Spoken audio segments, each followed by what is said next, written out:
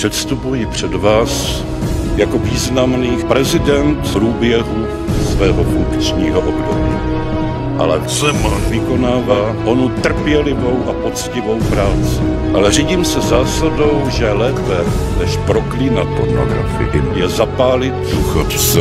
A proto bych rád poděkoval všem občanům, kteří mi dali svůj hlas. Chci být hlasem dolních deseti milionů občanů. Hlasem migrantů a hlasem neonacistické bojůvky. Nezapomínám však na to, že Klasy Rája je pornografická skupinka pana Schwarzenberga a že Vládem a Pražská kavernam stojí za starou belu. Uvědomuji si obrovskou odpovědnost a jsem připraven této odpovědnosti dostat. No, nezapomínám však na to, že v této republice žijí miliony migrantů.